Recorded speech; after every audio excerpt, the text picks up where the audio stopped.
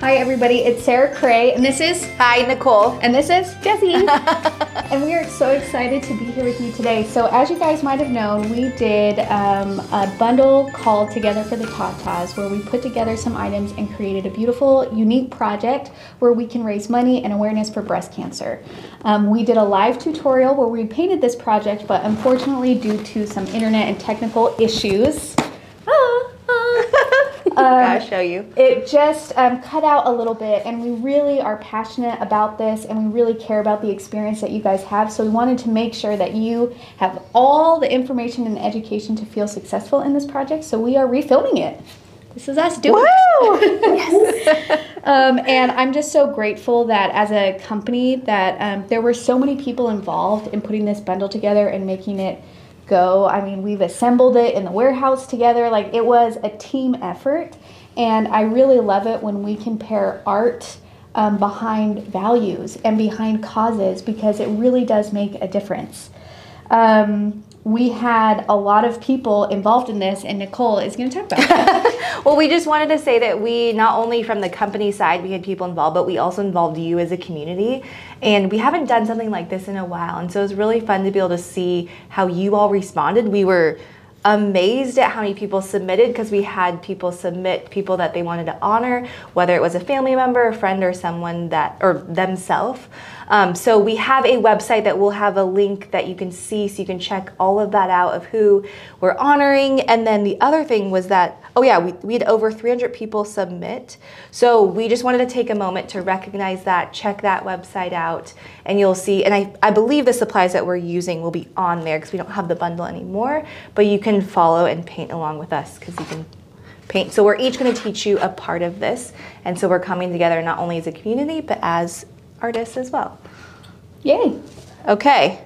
Oh, so we'll start. I'll start off. You start off. Okay. Let's do it. I'm to hand that to you. Okay. So for the lettering portion of it, you'll see, I'm trying to think where for right now we could Yeah. put this. So if you look, we have three different parts of this and we're gonna start with the lettering. Now, we haven't done lettering for a while, so you may be a little intimidated, but I know you can do this and I want you to be here with us and try. So I got each of you just a piece of scratch paper just to test out if you want. But again, we're gonna use, or I didn't say this yet, we're gonna use a pencil. Pencil's your friend. So, what I want you to think of is a word. So, you can pick, if you want to go for a full phrase, go for it. We're just to pick one word, so it's easy and simple. So, we chose to do courage, but you can do strong or strength or hope. There may be, or the person's name that you maybe want to make Oh, this that for. would be pretty. Mm-hmm. Their name. I love that. So there's different things that you can do, but we're all gonna do the same. I'll show you the few steps to help you. So first is I want you to write your word. Actually, let's just start with how we all write the word. But what I want you to do is spread it out a little bit more than normal. Oh. So yeah, if you wrote it once, just spread it out a little bit more than normal.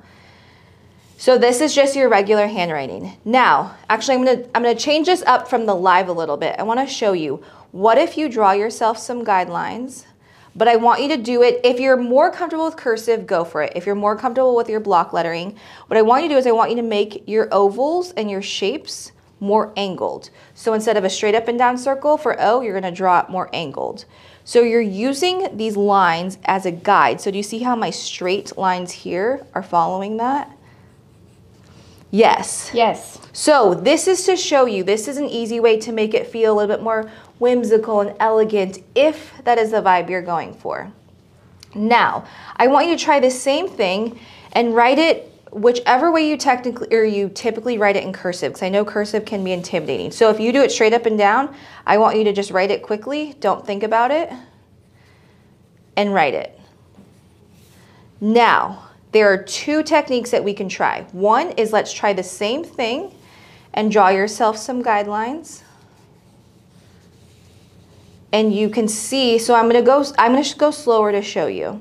Is I'm gonna just curve my same thing just like we're doing, but I'm just adding some connecting points. So cursive is basically a tail at the end of each letter.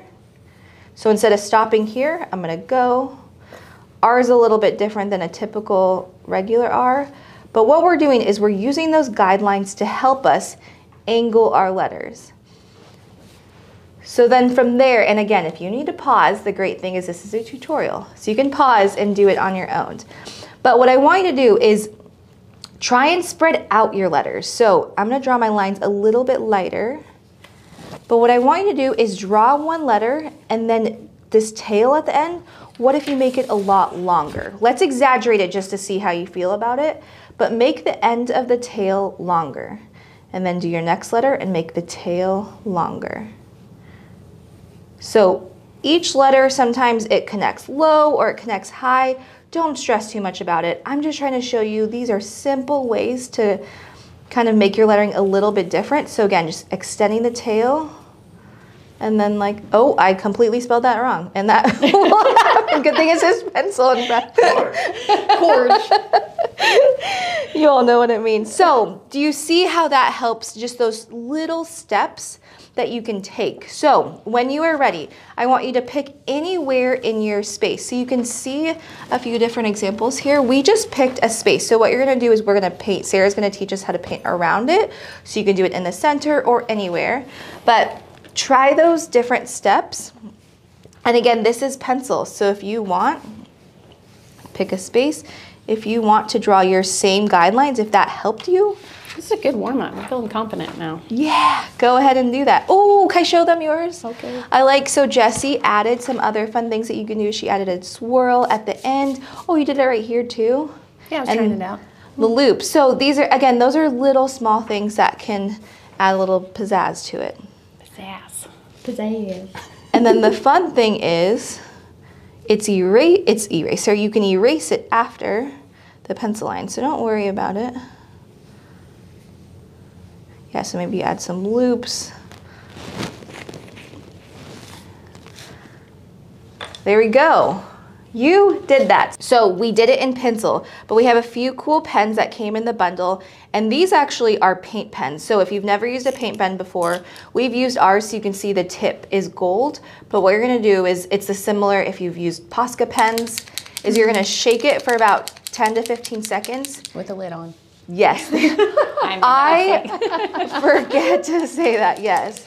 And what you're gonna do is you're gonna press and hold. I don't know if there's a good spot for me to do this.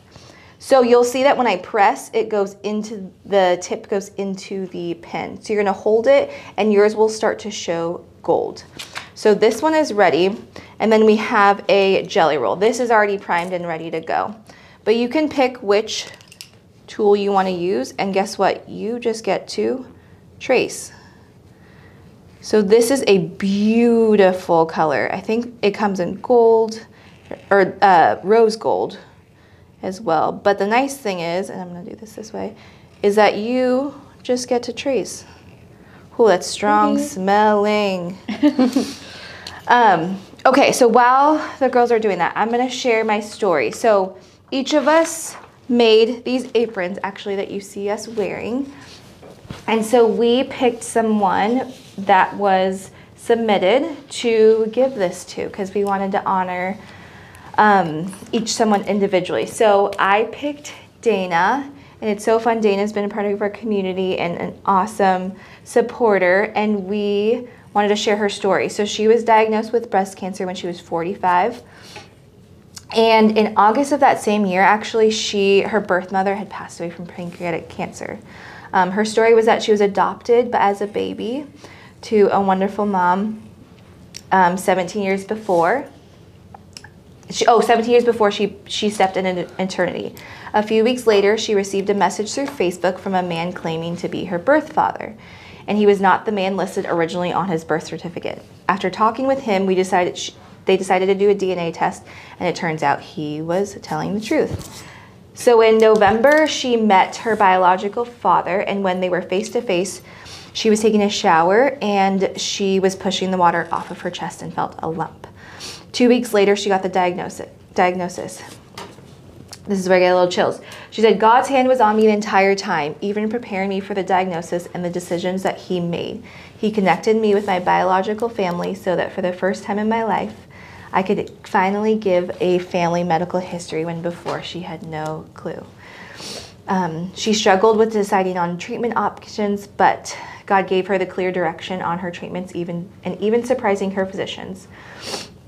No one wants to hear the words, you have cancer, but she has been blessed in the people she's met along the way and the support of her wonderful husband and getting to know her biological extended family. She says, Cancer sucks. However, blessings can be found when you hear those words. I'm coming up on nine years of no evidence of, mm. di- of disease. Thank you, Lord. So, Dana, thank you for sharing that with us, and we will be getting this to you. So, okay, now, Ooh, Sarah did a little bit of thick and thin lines that you can play with that if you would like to do that. You can also add some, if you want to add some highlights or some shadows with the jelly roll, you can play with that. But this is your painting, as we always say, to make your own. So I'm going to hand it off to Sarah. Okay, you guys ready to watercolor? Let's do it. All right, so I have three watercolors here um, to pull from. Um, the pink is um, Opera Pink from Daniel Smith, which is a super vibrant pink, super colorful. I love it. We also have Space Blue and we also have Emerald Green to make our leaves. Um, so I'm going to mostly focus on um, two different floral shapes. And whenever you start a floral composition on a paper, I always like to put the largest elements first and then the medium elements and then the small elements. So the larger elements are almost a way to anchor your painting and create the structure which which you can work around. The wonderful thing about creating like a loose floral pattern is that it's super um, easy to adjust it to different sizes. So if you want to do this square piece of paper, you're good to go. If you want to do a little postcard, you're good to go. Any size Oh, you yeah. want, you can take these same elements and put them together to um, for whatever project you want to paint, which I really love about that. We have our round 10 brush here, which is actually a really wonderful brush for doing florals because it has a nice thick belly, but a really nice tip too, so we can still get some nice detail lines. And um, I'm gonna show you how to do two different flowers and then we'll um, start adding more and more elements, okay? So, I got my paper towel, I got my brush, I got my paint. I'm gonna take a little bit of this pink and pull it off to the side so it's a lighter value. And the first flower I'm gonna do is super, super loose. So think of like a round organic shape. And we're not gonna think anything more than that, okay? So just a round organic shape. I'm gonna pick up some color. I usually like to start on the left-hand side and just go for it. So you can use the kind of side of your brush because that just lays down a thicker line. And it's just a roundish shape. It does it's not a perfect circle. You can have little pieces like I actually kind of like to do almost like a wave on the edges just to get a different um, shape. And then when it's wet like this, I'm gonna pick up more paint and then kind of just drop it in my flower. Like this. So it's just very loose, um, just kind of fun. And go a little bit larger than you might feel comfortable doing.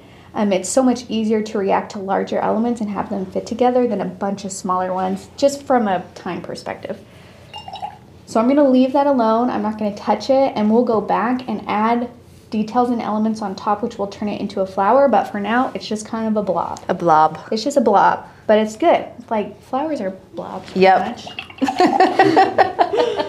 Your okay, brain makes up the information too sometimes. So. that's right. And that's why I love watercolor with flowers because really, if you have a roundish shape with like a darker center in the middle, uh, your brain is going to read that as a flower. Especially if you have leaves around it, forget about it. It's just like, oh yeah, that's a Forget flower. about it. Forget about it. Okay.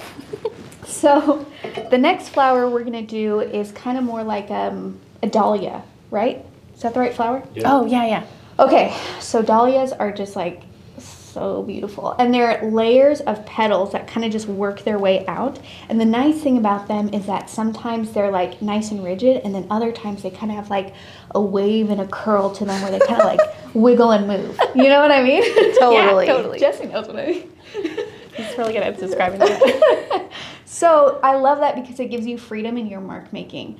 So I'm gonna take my brush and I'm gonna take some pink and I'm gonna start by making smaller, um, kind of like curved lines like this that meet in an invisible center. Okay? So it's just like a point to a point, with a curve in between, like that basic petal shape, but instead of a round edge, it has a pointy edge. And then you just keep making that shape over and over again. And as you work your way out, you're gonna let that shape get a little bit larger. And you wanna try and um, stagger them. So in between the petals is where you would do your next layer.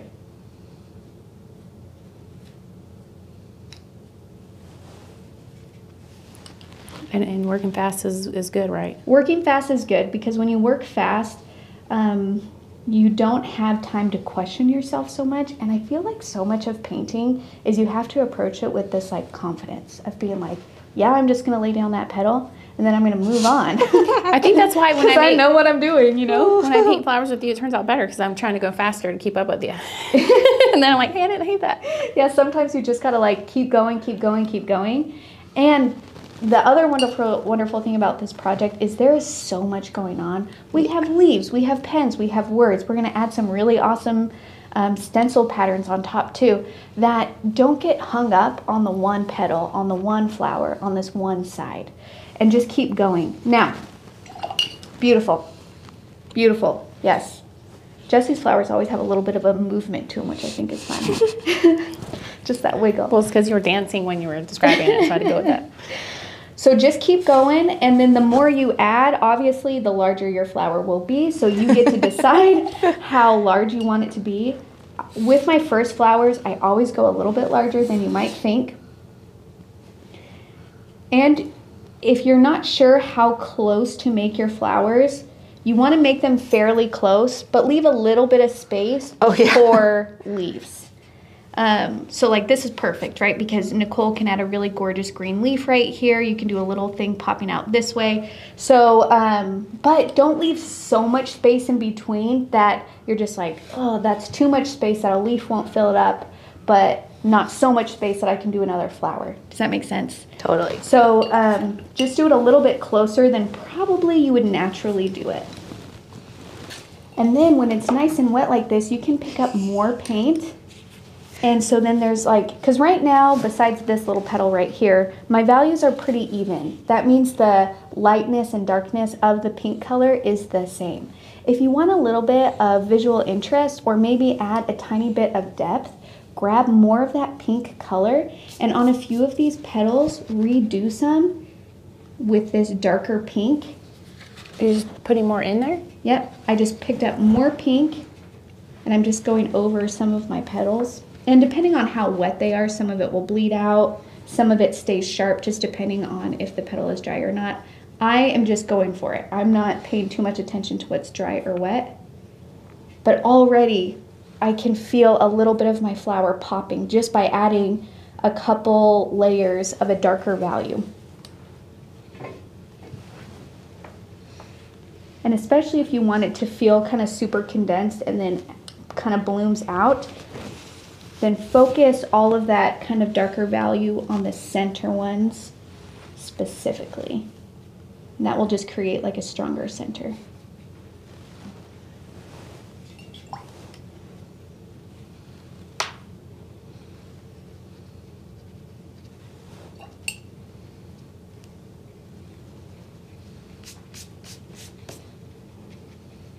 You can try and do these petals in one brush stroke.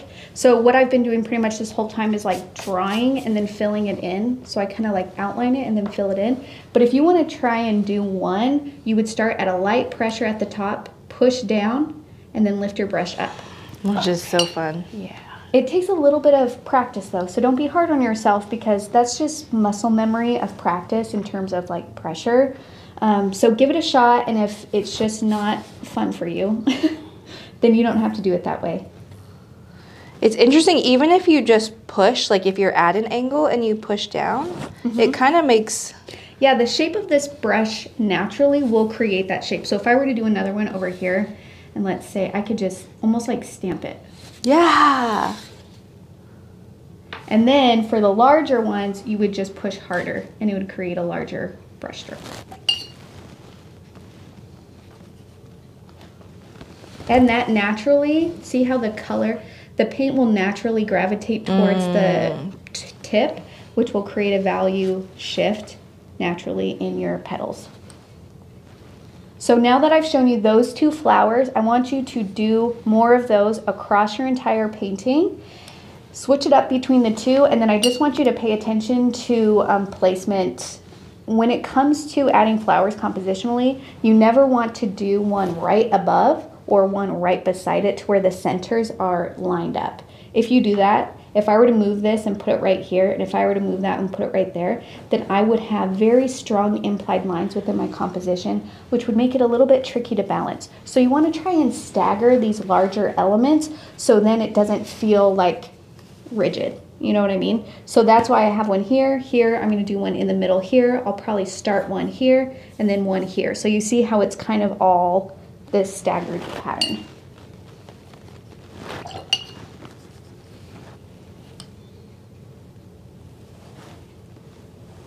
I kind of really like this stamping technique. Yeah, that's very therapeutic. And then what I would suggest for it is I would actually, after this dries, I'll go back and put in my center at the very last so then it um, stands out. Because I did it first and it kind of then just bled into my next layer.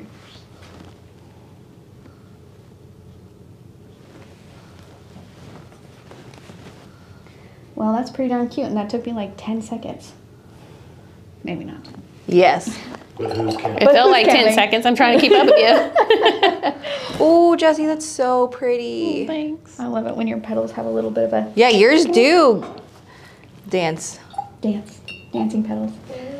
Okay, I'm gonna do another roundish one over here. And if you go off your paper, it's so funny because when we look at our paper edge, we think we have to fit everything in it. But that actually creates um, kind of funky movements. What you have to do is kind of act as if that edge is not there. So if, if this paper went on forever, I would want to put a flower right here, which means that you would actually only see this edge. And so that's all that I'm going to put on my paper. So when you when you approach paper edges, don't think that you have to fit it in. Allow it to move off as if the paper kept on going. And that's more true to like a pattern, you know, like a continuing pattern. Now, um, at this point, we've just used pink, but if you want to throw some other colors in the mix, you can do a couple of things. You can take some of your pink and grab a tiny bit of the space blue, and if you mix that together with your opera pink, you're gonna get this gorgeous, like, um, purpley color, almost like, I don't know, Ooh. like a pastel. The other thing that you can do is if you want to tone down your pink, because it's just too vibrant. If you're just like, that's just too bright of a pink. It's a lot of pink. Yeah, yeah. You know, some people just don't love pink, and I understand that. You would want to grab a tiny bit of green and mix that in there, and it's actually going to create this gorgeous peachy color. Now, I do want to give you a warning. The stencil butter that we are using at the end does lean more purple than peach. So if you were to do a bunch of peachy tones and then try and use that kind of fuchsia stencil butter at the end, mm. your colors might feel disjointed from each other. It's not bad. I'm just giving you a warning. And sometimes people like if you're intentional about it, I still think it can work. But when I created this project, I leaned more towards the purple pinks, the dark blues, and that kind of thing because I knew that the stencil butter that we're adding after, see how it has more of a purple feel to it? And I wanted those elements to talk to each other. So use all of that information to your discretion. Discretion to your choices? Yeah, discretion. Yeah. Is that it? Oh, yeah. As you will. As you will, thank you. As you were. A- mm-hmm. As, you know, As you are. As you are. Carry on. Carry on. all over the place. Stand by. Do you suggest, so I'm thinking about this space, is it better to leave it for leaves or because we have two different flowers, is it weird if some of them are a lot smaller? Does that make question make sense? It does make sense. If you want to introduce smaller flowers to this, you absolutely can. You just want to make sure that you do it in more places than one. So if you're mm. thinking, I want to add small flowers here, go for it. But then you have to think about how to work that smaller flower in other areas of your composition so it mm-hmm. relates to what's around it and doesn't feel separate. that makes sense. I'm going to do some darker little stamps here.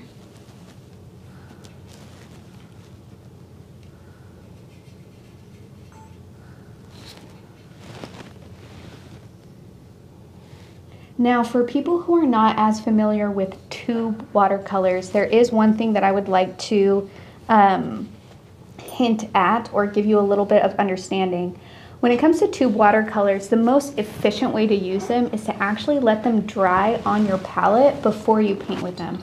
You can paint with wet tube watercolors, but you tend to use more paint than you need when you do it that way. So if you want your tube watercolors to last a good amount of time, what you would do is you would prep your palette before your painting session and give them some time to dry. So then you're reactivating them and then that way they just last a lot longer. I know we usually use liquid watercolors and that we can just go straight into it. So if this is your first introduction to tube watercolors, they're wonderful. But just as a little hint, they last much longer if you let them dry before you start painting.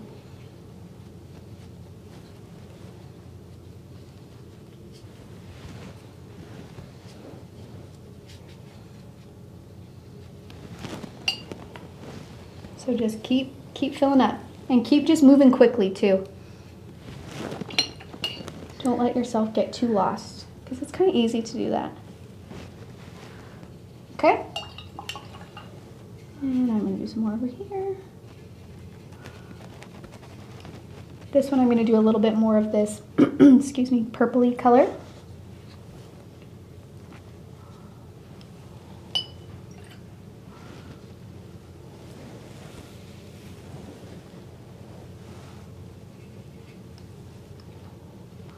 And then when you, if you are going to try and just use your brush to stamp, I would probably suggest having the tip of the brush be the outside maybe. See if that helps the shape of them, you know? Ooh. I like your angle. Ooh, that looks fun with that purple. Yeah, I kind of really like that. Oh yeah. And I, it's kind of funny um, when it comes to shapes that you do with flowers. We really um, need to get used to, like Nicole was saying, holding our brush in uncomfortable positions because that's how we make different marks. If you notice that you're using the same marks and you're not getting the shapes that you're looking for, you're not getting the variation that you're looking for, then you have to push yourself to hold your brushes in different ways and angle it different times like like when I paint I'm like this I'm up I'm to the side I go under and all of that creates variation in my brush stroke but it's so tied to muscle memory so when you first do it it's going to feel really uncomfortable and awkward but then the more you do it the more comfortable you are holding your hand in your brush really weird ways and then you're just like this is just what I got to do to get the painting that I want to get Sometimes I just switch hands altogether and try if I if I can. Oh, really? Yeah, like oh. I'll get all. If I'm really wanting an organic shape and I'm struggling, I'll just switch hands. Nice, that's a great tip. Okay, so now we can start adding leaves. So I have my green. I'm gonna mix a little bit of the space blue in there because it just creates this really gorgeous dark green. And if you want to tone down your green, you can add pink to it, but not as much pink. It would be more green than the pink, but that will desaturate the green automatically. Oh, yeah. And then I'm just gonna look at where I have some larger areas and I can put my leaves. So I feel like I can do a big leaf here. So, and it's the same shape. We're gonna start at a tip. You're gonna draw it, meet it back at the tip, and then just fill it in. And I love leaves. I love painting leaves because you get to drop in color. You can even fill one in and then take your brush and actually draw around it like that. And kind of go in and out of the wet areas because that's just going to create bleeds and really cool blooms.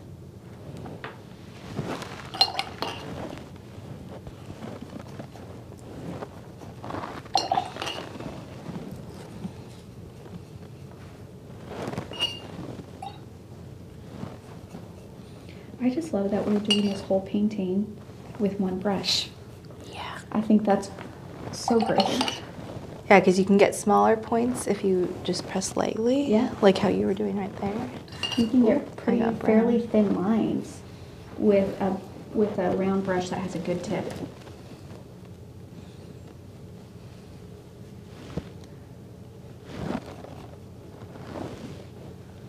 Do this flower left-handed. What? Doing it left-handed. Yeah. And it got. I wanted to be different. Yeah, that was. I like changing angle. It's fun.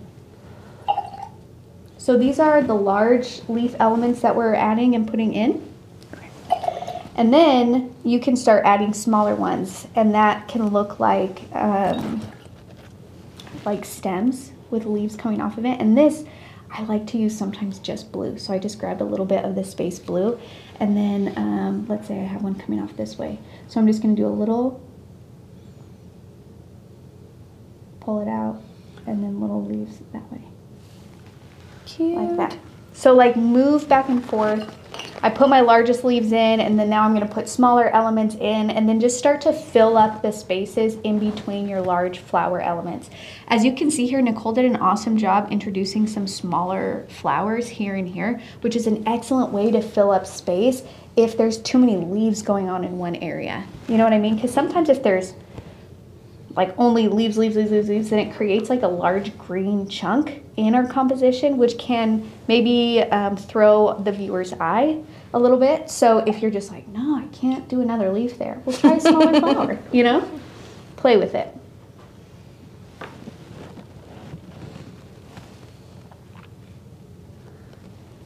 Another tool that you can use, let's say that I'm like, okay, I don't want to do smaller leaves. I don't want to do smaller flowers, but I'm still not, these elements aren't meeting where there's still a lot of space in between. Well, just make your flowers bigger. Oh yeah. These ones, especially like our dahlias and our, I'm going to call them our blobs, um, you can easily add to them. So that's what I'm doing for these, where I'm like, I actually want to fill this space up a little bit more, but I don't have a lot of room to do like new elements. So I'm just going to make them bigger.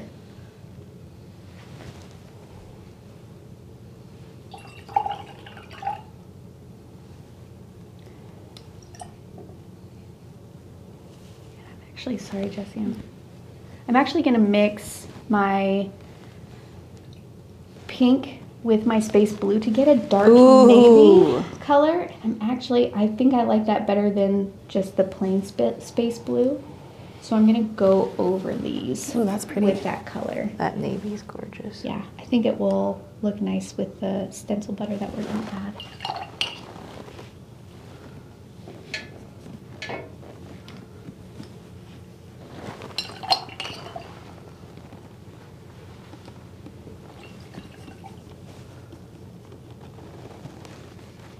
If you guys have your pens, your gold pen and your pink Gelly Roll, you can absolutely draw in leaves and all of that stuff um, just for variation. So if I were to take this gold and I can be like, um, let's draw. And maybe over here, let's draw. So play with that. Let's draw. Let's draw. Let's draw. but just keep adding.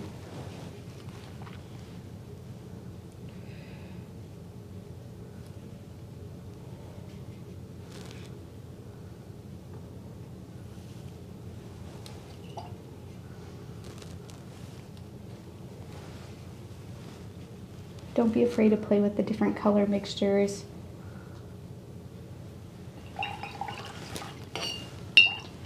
Now for these larger ones, if they're dry, this is where we can add our details. So I'm gonna take more of the same color, whatever color I use to mix this, you wanna use the similar color. So if it's more purple, mix up purple. Make sure it's darker value than what you laid down. And then I'm going to add detail lines. So wherever I see like maybe a darker element or a darker section on my um, blob, I'm gonna create a petal. Boop. Here's one. Boop. And if there's none there, but you want a petal there, you add it. Okay, and it's all working towards an invisible center. Like, and you can put that in if you want. And then you're gonna do just swoop detail lines towards the center. So we're trying to give the illusion that there are layers of petals on here. And then as you work your way to the edge, your petals are gonna get longer in shape. In line, I guess. You just keep doing these detail lines. And the same way we staggered our floral elements, we want to stagger our petals.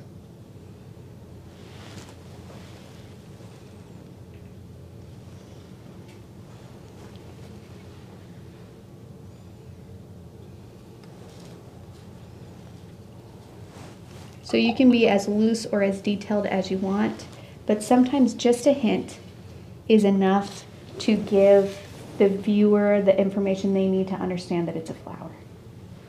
And sometimes that's like I call my job done. I'm like, if you can tell that's a flower, I succeeded. and Does that help you from overworking it? Like just like letting go earlier? Letting go earlier helps from overworking. Working quickly helps from overworking, and being intentional about your brush stroke all helps with overworking. Those are good tips.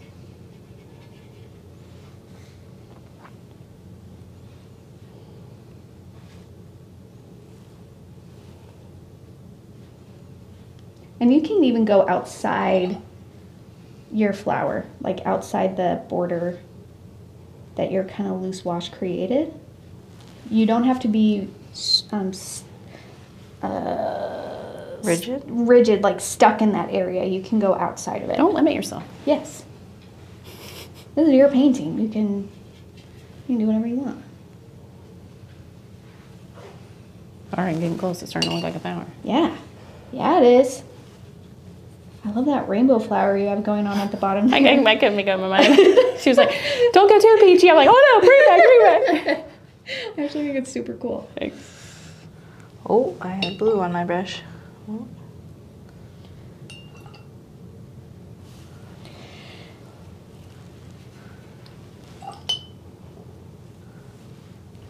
I'm gonna use smaller ones.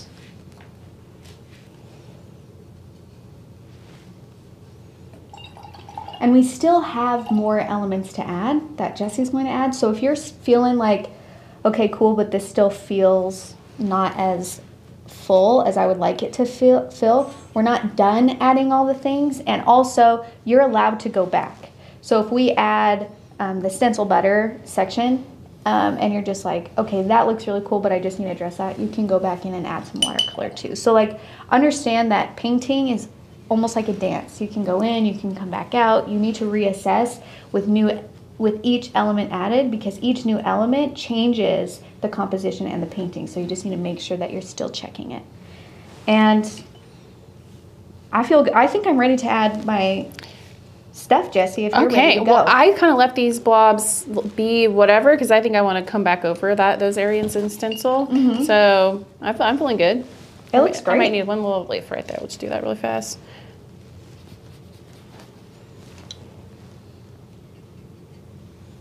I always like to go back with the darker color and add a little bit of detail. Oh, that's And you can do that with a pen too. So if I'm if you want to add like a little, I'm adding some veins in my leaves. ooh. It's always a good idea. Oh yeah. Okay, just take a minute to finish up your leaves in it. When then we'll do the stencil because now I'm in. I'm all in that. I Sarah, do you want to share your story? Oh, thank you, Keenan. Okay. So the story that I am going to share here. Um, I'm just going to read it.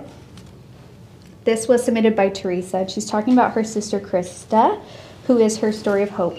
She is 46 years old and was diagnosed with breast, breast cancer in June of this year. Thanks to her yearly mammogram, the cancer was found early and is very treatable. She had two lump, lumpectomy surgeries, and her doctor was able to remove all of the cancerous tissue. She is currently receiving radi- radiation treatments as a precaution.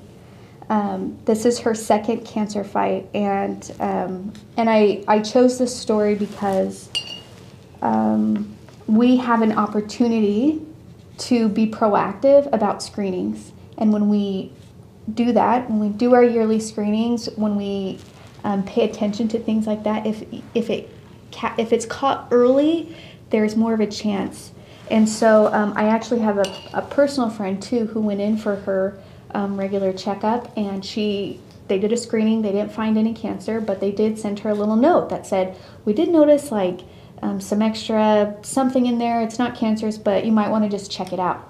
Um, she initially ignored it and then later was just like, you know, maybe I really should check it out. She did, she had it tested, it actually was cancer.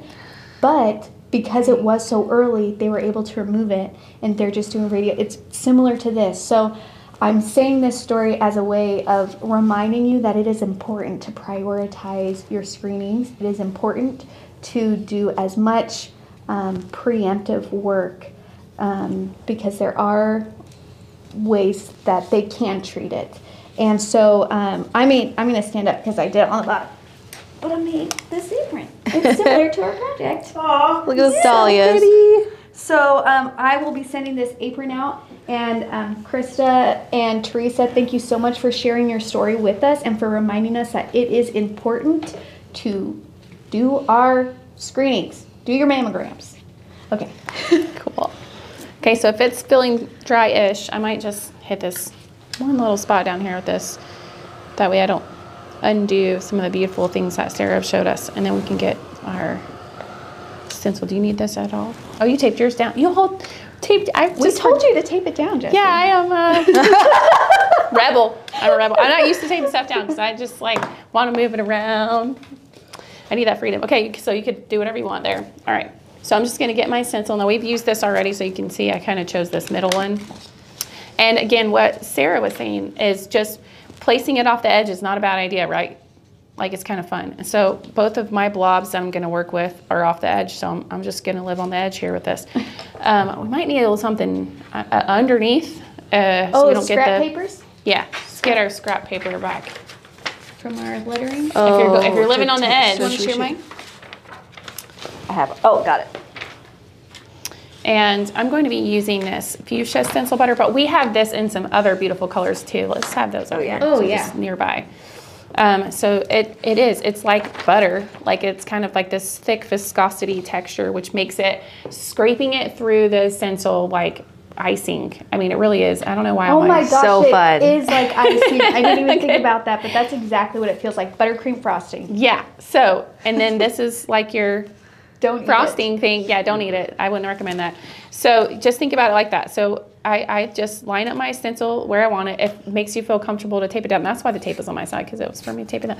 Well, I believe in taping stencils down. So Oh, That's They don't move on you. I'm not going to do that though. okay, so I'm I'm just living on the edge of the opposite. Woo! Okay, so then you're gonna get your your palette knife and just Jesse, yes, Can I come over to your side real quick? I would love that. Nice, great, thank you. Sorry So I'm gonna wait until he's um he's where he wants to be. See, I'm gonna move my paper a little and uh, leave the stencil stationary. Oh yeah. So I kind of like the idea of this stencil kind of hitting this negative space in between, you know, like right there. So I like that angle. So think about your angle. Do whatever you want. Okay. So then I'm just gonna plop it on there, right? What which feels wrong, and if you've never done stencils before, and then I'm gonna scrape across. Oh, that's your paper. Sorry. Scrape. You could go over it. I'm not So just I'll just hold it. a blob on and then scraping it across. And y'all, I kind of like it when I don't have one of these cell shapes all the way filled out um, because it kind of feels like a flower and like Oh, a either it's good tip. changed or you know. So don't feel like you have to do the whole thing. fully do it. Yeah.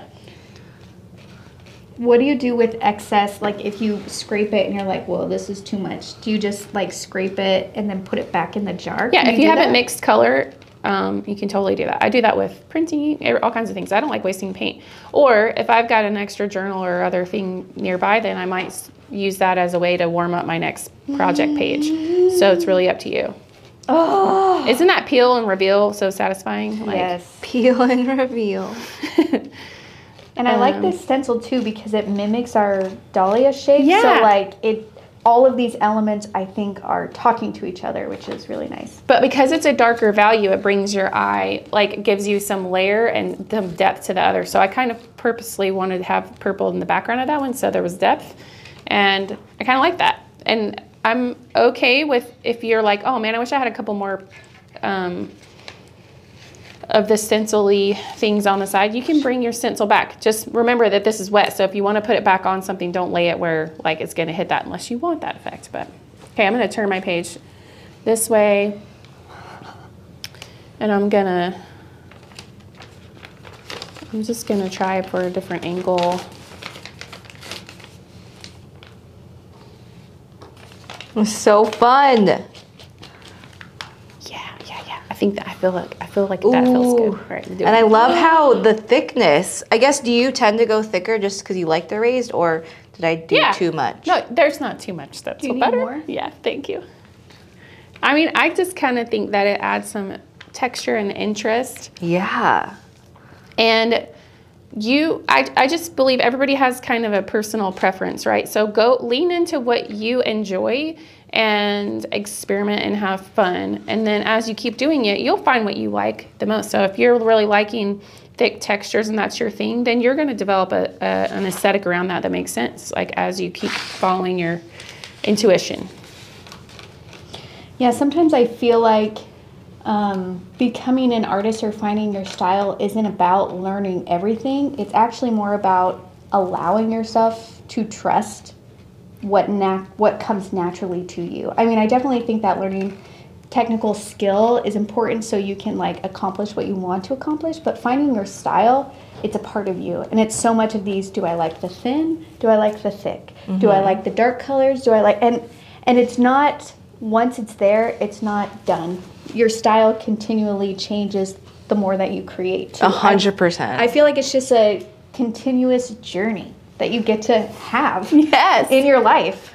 I, I- I'm always trying things and growing in new ways as an artist, and um, I like trying new things because then it inspires me to like get out of my comfort zone. As soon as I'm comfortable doing something, then it starts to feel stale. So I think that's why I'm always bouncing around with media. But every time I paint with you in watercolor, I learn something new, and then that adds to my like understanding one color and then it feels new again. So like you don't have to switch back and forth between medias to achieve that and I'm really glad that I got to do that with you to remember that. And what I love too is just like even if let's say you um, would consider yourself more of a watercolorist as opposed to lettering, as opposed to mixed media, just going into these other practices and experimenting will inform your personal practice. It will inform. You can take these things that you're learning, and sometimes just a break from the everyday is enough to get our creative juices flowing because it's play.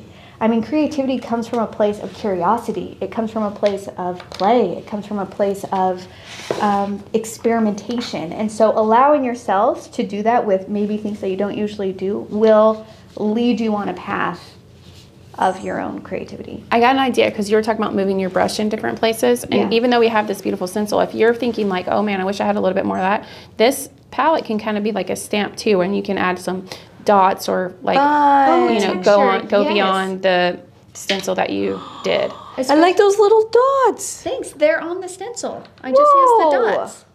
Cause I was like, I need something small right there. I'm totally Yeah. gonna do that. Sometimes, if you just need little small things, Yeah, then I like those. dots. Just giving a little more atmospheric bit of something. I don't know. I'm into that. All of those words, good words. I'm using the words. Um, and I, if you're wanting to dry your stuff, like I think that lifting your paper when you can is nice because it makes the um, air flow through the paper, and I feel like that helps the drying of these kind of thick things. Oh, I've never even thought about that. And sometimes I even dry from underneath, so you're kind of going back and forth. oh. Well, look at that. Which is probably why I don't tend to tape my stuff down. But That watercolor, it, your paper does stay flat or flattish, more flat. um, but what I notice is, okay, so if my paper is starting to warp one way or another, if I hit the uh, underneath side, it'll straighten it back out Mm-hmm. a little bit. Okay. Is it a good time for me to read?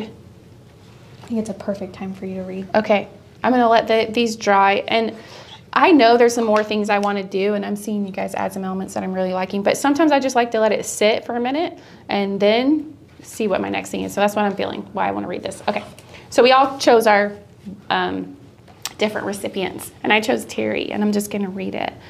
Um, my family has the BRCA2 gene for cancer. My Aunt Alice had breast cancer approximately 40 years ago. It was my first introduction to breast cancer. Many in our family had breast cancer and other cancers since then. When I went through my experience with breast cancer, I couldn't help but think about Aunt Alice and the treatments she had to go through those years ago.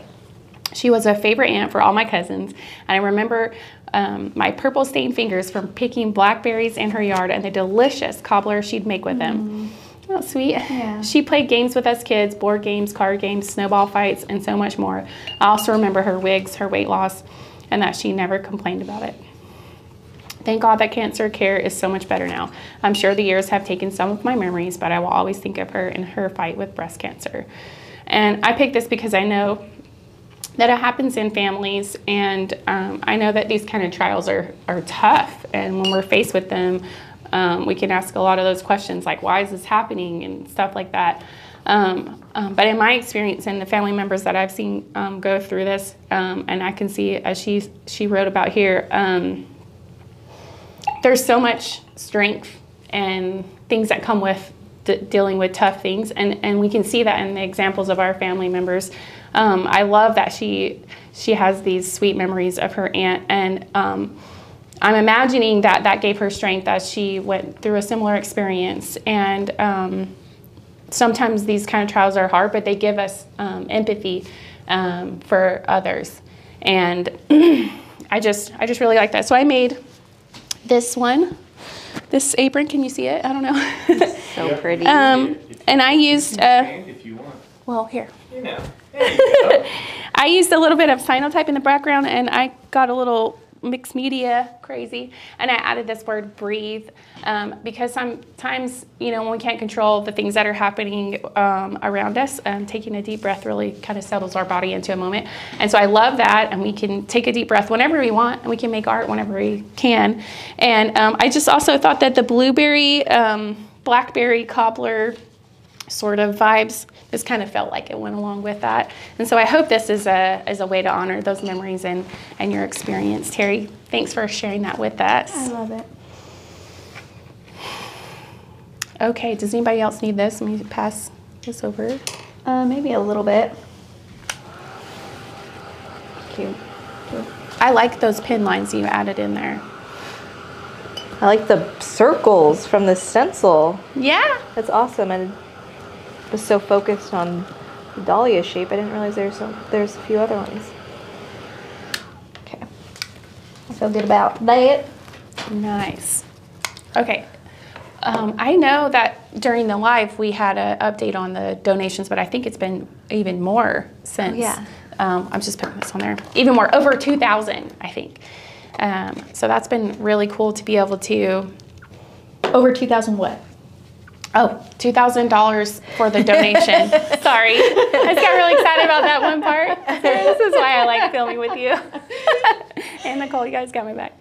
Yeah, so um, let me grab this one and see. Um, to, to, we donated to the Susan G. Komen. So Um, that's you guys. Like you guys raised over two thousand dollars to donate to Susan G G Komen. Yeah, Am I saying mhm, that right? yeah. That's awesome. So Oh, where's our flags? That's what we need. We Oh, a little flag wave right now. this is a flag Elizabeth wave. gave us these flags, and we, we had a good time with them on the live. But you know, thank you so much for for participating in that and helping us do that. Um, I think that there are some more of those cancer awareness bundles left, just maybe a few. Yeah, so what so after we launched this, we got a lot of feedback from you guys saying like this is so amazing, but there's so many other cancers that can really use the attention and the resources. And so we put together a cancer awareness bundle and we put together um, how many colors did it say? Six colors. Six dandelion pink colors. Um, and each one represents a different cancer. I'm sure you can find out on our website we'll, where it will go in detail over the different cancers and the colors. And then for every bundle that we sell, $5 will be donated to um, St. Jude's, which does a lot for um, cancer and research and children's and all, all of those things. So if you feel so inclined, know that we have that on our website. And I think the different colors were also some personal picks from our team. Yeah, so like different Yeah. ribbons mean different types of cancer, so those colors coordinate with those. That's awesome. Correspond. That's, That's yeah. Yeah. um, should we uh, untape and hold up our paintings? Untape Yeah. and peel? There's no rhyme for me there. Untape Peel and and reveal the Peel tape. and reveal. peel and reveal the tape. Now this is why I get a little bit uh, Oh, I love that border. scary with uh, mixed media though because I'm messy. I I don't realize how messy I am until I'm look at my hands and my apron after, and then I'm like, holy moly. Yeah, this apron might have a little paint on it when you I know. I it. hope you guys that receive these aprons are okay with a little bit of marks. These were- ones have been used. These are used ink. You're like, what? to protect your clothes. The layers are so fun with Oh, the yeah. stencil butter. And I love the um, movement you created with your lettering. Yeah, wow. beautiful. Oh, you inspired me. Oh, well, I like that you went big.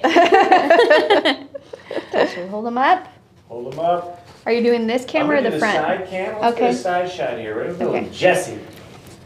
Oh, Sarah. Oh, Nicole. You know those like TV show intros? That's how it feels, where they're like doing their thing and then they're like, What we're gonna need family movement. matters. You know what I mean? Like, of- nice intros. yeah. We need music now. Mm-hmm. Awesome. Thank you all for Thank being you. a part of this Thanks. with us. Again, this was a huge company and community team effort. And whenever we did the live, some people did share their artwork because I went and looked at the oh, hashtag. Oh, Did you yeah. see some of them? They Yeah. awesome. Yes. So if you haven't shared it yet and you're just making this with us now, we want to see what you make. Good we idea. love seeing what you make. So you can share that with the hashtags Let's Make Art. Yes. Or tag us at Let's Go Yeah, Make Art. Mm-hmm. all the things. Or add it in the Facebook groups because we have a lot. You can go ahead put those in there and they'll work for all of them. Yes. We're everywhere. We're everywhere. All right. Thanks, you guys. Awesome. Thank you. Thank you. Bye.